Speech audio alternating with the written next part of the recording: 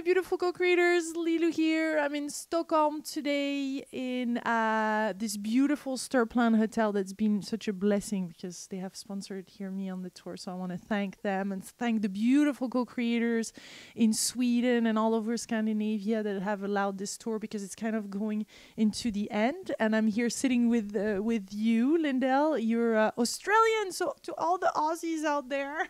Hi. There is uh, many beautiful co-creators in Australia, and you live now in Sweden. Is that right? I do. I do. So Stockholm's now my home, and I've been here three years, and I love it. This time of year, it's amazing. The summer. The summer, and people might recognize you over in Australia because I've read in 2006 you were in the final competition of the uh, Australian Idol. I was. I what a thrill! It was amazing. It was an awesome experience. Um, it was, yeah, it was. It was fun. It was a lot of fun. It was a great catalyst for a lot of growth, actually, in my life. So, it was. It was amazing.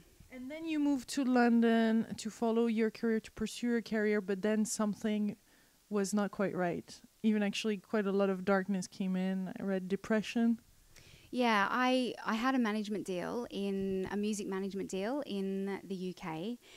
And I went there to pursue my dream, and I had high hopes and ambitions. And when I got there, I basically went through a spiritual awakening. I moved away from everything that I knew in Australia my network, my friends, my family. And I found myself in this place all on my own. And I, yeah, I fell into a really deep depression. And I realized that the music industry, at least how I was in the music industry, that didn't resonate with me anymore. And the goals that I wanted and what was important to me was no longer important to me. So, yeah, it was a real awakening experience. So, if you want to know who you are, move overseas. That's it's Yeah. Well, all of a sudden, I guess too, you were pushed towards uh, success and the limelight, and uh, and then it's n- not sometimes really what we think it would it w- it, it is. huh? Yeah, absolutely. And I think when doing a, a, a going through a big transition like moving overseas, um, as well as you know, obviously the the planetary shift at the moment is throwing a lot of people into a lot of chaos. So I was that was part of it as well for me, and it, it made me really ask what's important to me. What if I climb this ladder? What will I be happy with what I find when I get to the top? And when I really was honest with myself, I realized that it wasn't. So I, yeah, I had to dream a new dream. And um, in the meantime, I moved to, I met my Swedish now fiance and moved to, to Sweden. So Yeah, and you decided. I, I love this because I'm just holding your your first book, and uh, more than a book, it's a it's a daily uh, greatness journal, a practical guide for consciously creating your days. And this is quite something. I mean, we're we're talking here, uh, a 500 pages type of journal. Where tell us where this came from. Why do you feel this is an important tool um, for you? when I was going through a lot of my depression and, and the transition out of the music industry and, and really looking for what my purpose is and what I'm here to do, I had to create uh, a kind of ritual, a daily ritual to, to shift me out of that, out of old behavior patterns, out of old unconscious thought patterns, and really start to get real, get and take responsibility for what was going on in my life. And if I wanted to go forward with more purpose in my life, I had to get very conscious of what was going on for me. So I created a kind of daily ritual that helped me make sense of what was going on and, and really connect with what I call my inner genius. And I'd been a, a personal, you know, a self help and personal growth student for 10 years at, by this stage. So, and I had all of this knowledge in in my head, but I couldn't understand why was my life not upgrading? Why couldn't I uh, use all of that knowledge? But I realized it was because I wasn't consistently taking action in my life and I wasn't applying what I knew. I'd read all the books, I had all the knowledge, but I wasn't consistently applying it. So I was really in a lot of wishful thinking. And I think when we take responsibility and we start putting into practice all that we know, because so many of us, especially people that watch your your show, uh, they've read a million self help books, so they don't need any more knowledge. They need to, and this is what I figured out for myself. We need to apply it in our daily life, and so that's what this the journal is all about. It's about applying what you know in a daily step by step process to help you connect to your inner genius and upgrade your life. Mm-hmm. I like the upgrade. Yeah, upgrade's good. Yeah. So what does it take to upgrade? Is that is that does it start with the with the posi- I mean we, we it's a statement. It's uh it's what? It's a declaration. It's a turning point where we say enough this is this is I want something else in my life. How did you see that? How did you shift yourself into that that co-creative mode that is much bigger? Yeah. Um I think it is an intention. It's you know often we have to hit rock bottom to take our life to the next level, and there's a purpose in that. And so the um, the intention was there to upgrade my life for a long time, but it wasn't until I started to uh, believe that I had a, a bigger purpose. I think that's that's a very important shift to make that you can make a difference and that your voice is important you have a great message and I think that self having that self esteem. I, I, I, even though I was a performer and I was on stage a lot, in truth, what I worked out was I actually had very low self esteem. So I had to go through a whole process, a whole personal transformation to shift me into a place where I genuinely believed that what I had to say and my message mattered. So that was really the catalyst, and that's why this book sort of it, it was um, really it came out of that time because I, I guess I had that internal shift that I had a message, and uh, I also had you mattered, and I mattered. Well, I- exactly, and we go through our dif- all the difficult times that we go through in life, all have a very amazing purpose. I say, you know, if you're going through a transitional shift, it's your most amazing gift because it's always at the other side of that that you realize, wow, you know, I do have a lot to give, and and when you start stepping into that, you know, amazing things happen. And, and it must have been so scary to come from this this really uh, set world where you, you must have an agent and you know you you perform and there is the the attention on you to finding who you really are, finding and and kind of stripping off all those layers and. Uh, and and and discovering a frightened soul. I'm sure you've been going through moments of uh, despair and of uh, just like uh, what am i going to do with my life? Am i really going to continue am i going to move forward? And because it's it's so difficult. I see so many people transitioning and the you know the fears that are that are so so you would you would write your fears also in this journal or is it just about the positive gratitude messages is that is that all like both side type of journal? it is. It's both side. I think you can't.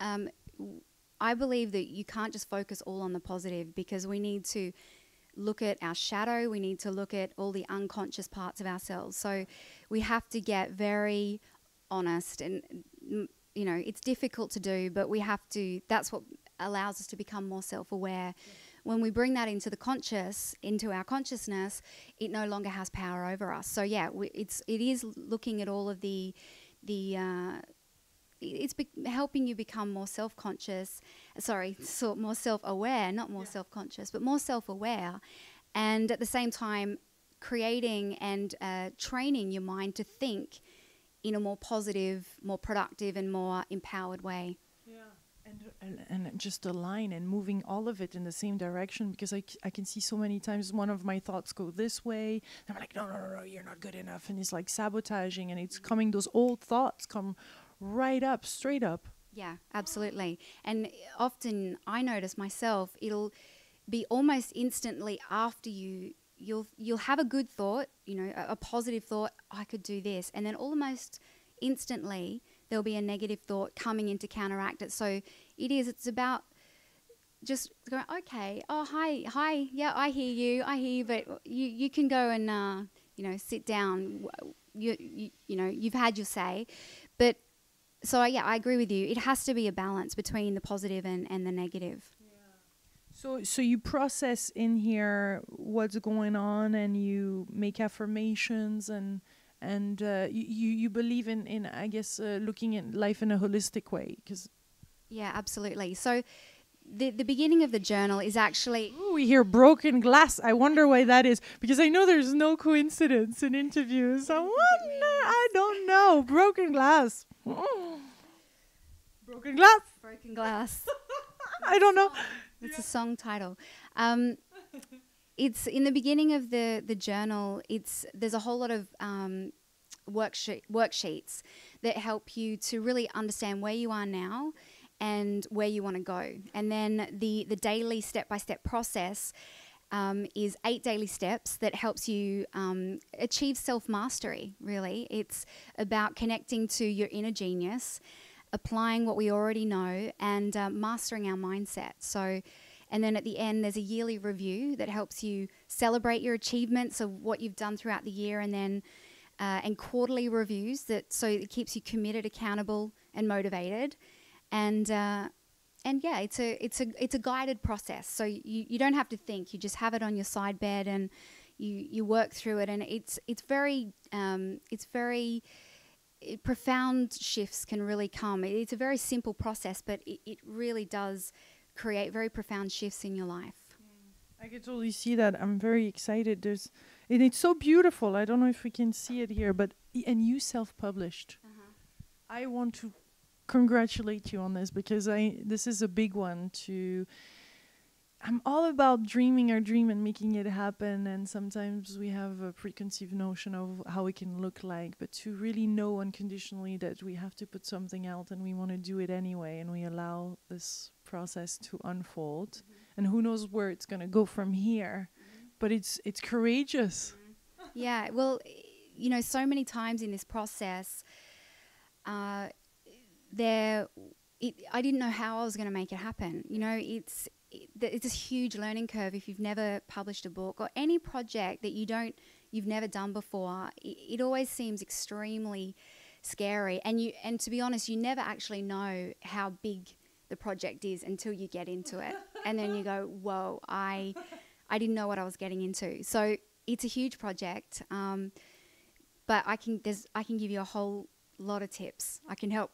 eh, You know, now once you've done it once, you get a you know a blueprint for how to do it, and I think that's what I'm excited about for my next book because I feel that this was an 18 month project of creating this book from start to finish with points throughout where I didn't know how we were going to do it, how we were going to fund it, you know, the, or the design wasn't right, or I, you know, all the obstacles that come up. But I was met, I was writing a book on how to consciously create your life, so I had to step up. You know, there was no, and I applied all of what I'm teaching and all of what is in this journal in in my life to and in this project to to come up with this as the outcome. So I know it works. Yeah. What are the fundamental, uh, well, not fundamental, but the things that you really believe in your heart are essential for us to get right now, especially going through this shift and that you have learned? I know we talked a little bit about them, but what what would you like people to really get about life and about themselves? and about themselves. I think I think what I'm learning is as I grew up and my my absolute dream that I was extremely attached to as a singer um, was ended up being my prison. And I think it didn't it never made logical sense for me to ever understand how I could give up a dream. But what I've learned through the process is that often we have to give up dreams, and um, and so. But on the other side of that, if you have the courage to do it, there's incredible. You open up to so much more of your potential, and your and not only that, you step into your true purpose. And the idea of this this idea of your true purpose is sort of very elusive, and and if you're not if you haven't felt it or touched it or you're not quite there yet, it can feel like there's no such thing as a purpose. You know, whatever you're doing, you're meant to be doing. But the more that I walk on this journey and the more that I let go um, of what I thought I was and what I thought I was meant to be doing, the more I get in touch with this part of me that understands that we actually do have a very amazing purpose and, and path. Um, and I don't think I, I'm definitely not there yet, but I think eh, if we have the courage to, to let go, we will be presented with a beautiful path. And, and I think that's the most difficult time during this transition yeah. is that we're having to let go of things that we hold so dearly to. And that could be people, it could be a dream, it could be material things, it could, could be a flat. Yeah, it could be your home, it could be, um, you know, you're holding on to your financial security, all of that stuff. Um, and we have to go through the fire um, to reach the other side. And I, I don't know if there's a way around it. There wasn't for me. I, I absolutely had to go through the fire and hit rock bottom. And I know so many other people that have had to do that as well. And I think to just have courage and know that, you know, on the other side, there is amazing things. I think that is probably the most essential lesson that I've learnt through my journey over the past five or six years. Yeah. And I and I know and feel how uh, difficult this is to go through too, because I went through it in London, the same city, and it's quite a, a city that shakes you up. But there is those panic attacks that come, and then we hear those wonderful positive message, and it's like, yeah, that's for her. She already was on this path, and this and that but it is like where everything is is everything is collapsing. Everything is we're we're nothing. It's like pure suffering and and uh, what is the for you was it writing or what else is there in those moments of of, of uh, total chaos and when everything is shaking up and when nothing makes sense and when uh, it's others but not me? What to do in those moments? Do we just have to drift or? Yeah i think that the hardest thing for me was powerlessness. When you just feel like mm. you've got no power to change anything. Everything feels everything like you say everything collapses. It literally feels like things are being just pulled from underneath you. Uh, you can't more and more. When you think it's the end there's more coming. Exactly. And you can't every everything feels like it's just slipping through your fingers. And if you've been a confident person in your life and and you had a, very definite uh, direction, and all of a sudden that falls away and that collapses underneath you, and that powerlessness comes into your life. You can fight it, and and I mean, of course, I did for for a long time, and I wanted things to go my way, and you get angry, and you go through all of the the emotions. But I think what helped me actually, one of the the fundamental learnings was when I read a book called Transcending Levels of Consciousness by David Hawkins, Dr. David R. Hawkins. Um, when you understand the levels of consciousness that we we all live at, uh, you know, we all um, embody a different level of consciousness, and to understand that life and moving up levels of consciousness isn't just about um, doing personal growth and reading books. And there has there's a, there's a fundamental shift in an alchemical process that happens to us. And that is you know if we truly want growth we can't escape that. Mm-hmm. so you really have to surrender to it. And then it could be a couple of years. It could be a, it could be a few weeks could be a few months could be a f- couple of years. For me it was. And eventually you drift up on the shore and you you're on a, a new abundant island and lots of opportunities are being presented. And i think that's where a lot of us are now. And and if you if you know whoever isn't there yet they will be you know because that is the journey. Mm-hmm. and i don't think we talk about this you know people don't not enough it should be on tv every day. What's going on? The big media come on. I mean this is what we should be talking about on tv instead of I mean, nothing wrong with American Idol or Australian Idol, but I'm so glad you stepped up to this other level to, to share this with so much beauty and confidence and, and having gone through this yourself. Mm. Well, you're right, because I think so many people are in chaos. I hear a lot of my friends who are still are in Australia um, that I hear are going through difficult times, but they don't have any framework or any reference for what's going on. Yeah and it's only because I'm a you know ridiculous researcher and I Google and I just you know that's I when I first moved overseas, I needed to understand what is going on for me and and I did a lot of research and I, I started to understand and get a framework for what was going on. So but if you don't have a framework, that is it's an incredibly stressful and confusing time to, and you you don't understand how on earth you know you can get to the other side or even what what the purpose of it is. So um, That's where the day by day really helps because it is either you take on your own journal and you write and uh, and this, but it can be very chaotic, yeah, and, and a little bit of structure can help a big big way. I can definitely relate to that. That's why I think it's genius what you have created. Uh, the the chaos, I love it because in the moment of when uh, when we become butterflies, it's like there's this transformation, you know, and every cell shakes up. And when the hard times is here, it feels like we're we're go- we're going through, you know, the cells, everything. We're we're we're being activated to to, to this new level, and so of course there is those hard moments, so that we can emerge into this new human being, this new.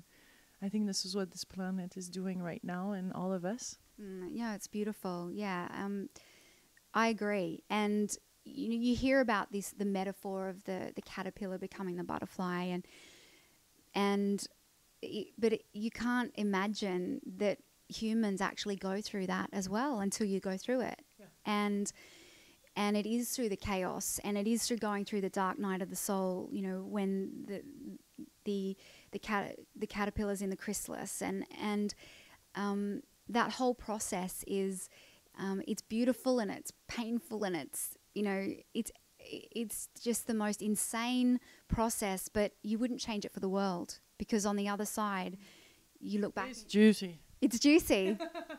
it is, yeah. It's so vibrant. It is, yeah. Everything makes so much more sense, but it takes. I think we, as human beings, we have resistance because otherwise the change can happen very fast. Yes, of course. Yeah. Who are some of your inspiring throughout this this spiritual awakening that you had? Is there some other books that you really enjoyed, some teachings that you would like to share with us today? Um, David R. Hawkins, just amazing. Power versus force, uh, transcending levels of consciousness. That puts so much into perspective for me. And of course, Eckhart Tolle. Um, I love his teachings, but I also feel that eh, when his teachings aren't um, interpreted correctly, we can fall into apathy and not take action in our lives. And I, and I saw myself fall into that trap. And we're not fully living, we're not fully, we haven't, I think it's a, a phase that we go through um, where we we sort of in the phase of acceptance and, and, and apathy, but we're not living and fully expressing who we truly are and bringing our message and our purpose into the world. So I think I love his teaching, but I, I, I get a little bit concerned that, that people aren't interpreting his teaching correctly and they get stuck at a certain level, because I certainly did. Um, and I mean, there's so many. There's so many. There, there's some incredible books out there. Um, but we, again, my book is about applying what, what we know. I mean, we read so much. Um, and it, it really is about applying and, and taking action and taking responsibility and uh, putting everything that we know into action so that we can upgrade our lives. Beautiful. I'm, I, I so much enjoyed this conversation and meeting you, and uh, I'm still amazed about your, your journey and what it took you to to break free from this cocoon. Uh, It's not a cocoon, but it's it's a big one to to break free, and I think it's a, great example, and uh, will give lots of courage to people. And I, I'm really looking forward to using this daily greatness journal. Oh my goodness, creating your days because we can create our reality. We are beautiful co-creators, aren't we? to all Australians out there. Ar- Aren't you proud of Australia? Does she rock or what? This is my first Australian live uh, interview. I've done, I've met many Australians. I love Australians. Uh, I've done interviews over Skype with Australians, but haven't gone to Australia. So the Juicy Tour will come to Australia in 2013, 2014, very soon. There's a lot happening there. It really is quite something. New Zealand as well. Do you go back? I do every year. Love it. Absolutely love it. Yeah. I got to put you in touch with Megan Castran. Oprah showed up at her house. What? Oprah showed up. Uh, Megan, lots of love to you. Yeah, it's a beautiful co-creator down there in Melbourne. And knock, knock, knock. Oprah is here with bottles of tequila. It's one of those delicious, magical creation. Yeah. How can we even dream of this? I mean, we can. She she was dreaming of it. I know that, but it brings so much joy to know that uh, miracles are possible, beautiful shifts are are possible, uh, transformation is possible. And thank you, thank you for having the courage to to make your dream come true and living your life purpose. Thank you, Lulu. Thank you for having me. You're welcome. Mm. Much love, my delicious co-creators from amazing Stockholm in Sweden. Bye.